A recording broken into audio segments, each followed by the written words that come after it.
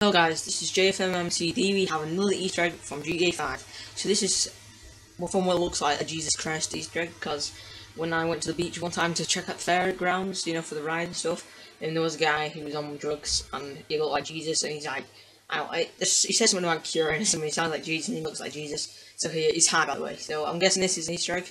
So you're gonna see. Oh, maybe I'll make some out of water or something, or, or some sushi, or some derby focaccia. Oh man, it's totally rad, man. It's totally rad.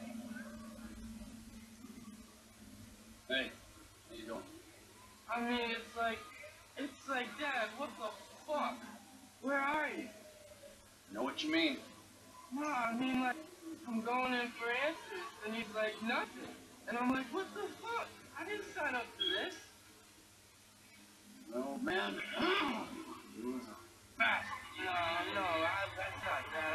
Him. It's just, it's just that's the thing. That's the thing. Man, word up, homie. It's all good, dog.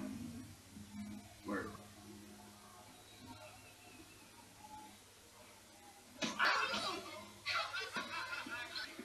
Right guys, um, thanks for watching. Make sure to like, subscribe, and most of all, most of all, subscribe, but comment if you have an Easter egg.